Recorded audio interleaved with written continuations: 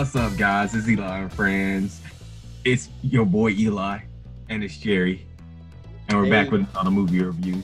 In quarantine, I'm in the United States. He's in a disclosed location. We can't say Planet X.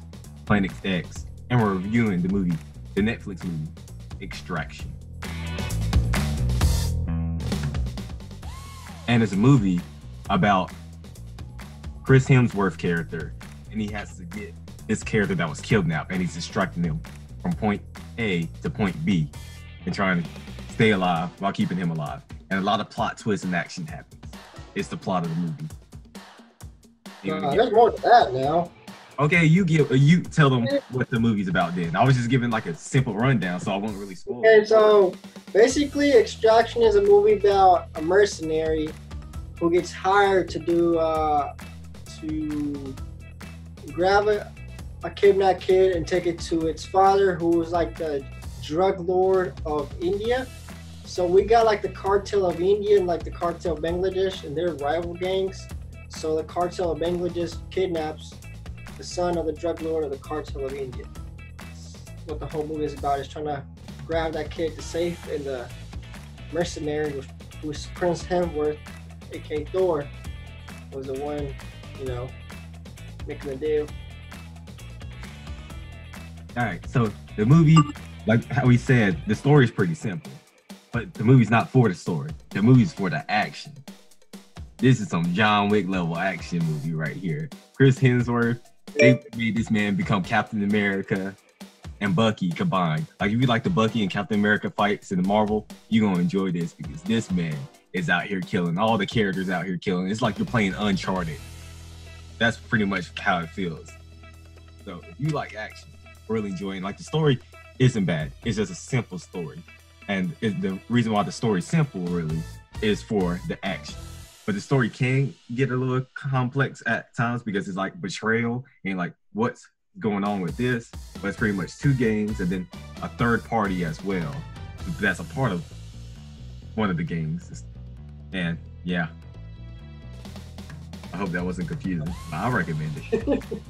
Well, me personally, we have Bollywood with um gangs, gang violence, and we also have Thor. And those three together is not something common. It is super weird, super rare, and super fuck, uh, su- mm, super strange. But at the end of the day, this is a type of movie that Bollywood kind of just made it back to to its fame in America. So I I liked it so far, and I'm gonna touch base on one of the actresses. Her name is Golshifteh Farahani, who is uh, one of the female main characters of Extraction and she's basically the chick with short hair and is like the leader of the group of mercenaries who's supposed to get the kid.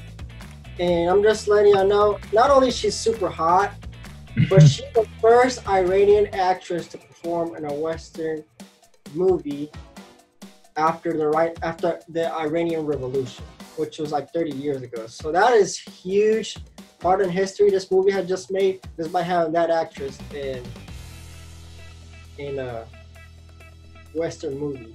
I mean, it's Bollywood, but it's, you know, Western. So I kind of like that, and the idea of, you know, I just, I mean, I live in the Middle East right now, but the idea of having that culture and scenario mixed with action, it's like you don't, you don't see a lot of stereotypical Indian movies where you know you just have a lot of action in in the west in the western hemisphere you know it's more like oh you got this like lovey-dovey story in the middle of india and somebody gets cheated on or whatever. But this kind of broke that stereotype and i really like that that the fact we got a movie that broke that stereotype of what indian culture is. And it is a lot of plot twists a lot of action and i loved it. Very militaristic and yeah, I guess I Not much to say. I really enjoyed it. I like how it showed off this uh, city too. Like the movie showed off the city by a lot because pretty much the whole entire movie just going through the city. I guess like it actually showed like raw footage footage of the city, like actual people just walking around the city. Yeah, and they were just recording at that point. And I like that one scene with the car chase. And you notice it was like Oh, yeah. like the scene just kept on going. It wasn't like a cut. That was almost a Fast and the Furious type thing right there. Yeah. It was a scene they got out the car and action still kept on. It was just like one scene I really liked. So yeah, if you got Netflix, Yeah. check it out. You like Chris Hemsworth, check it out. Yeah. Anything last words? Um. Yeah. Go watch it. If you like John Wick, if you like Thor, if you like Indian movies, if you like action movies, that's the that's the movie you should be watching right there.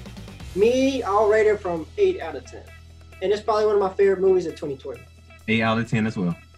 Yeah. Yep. Well, stay inside, self quarantine, so we can get out of the house. Peace. Peace.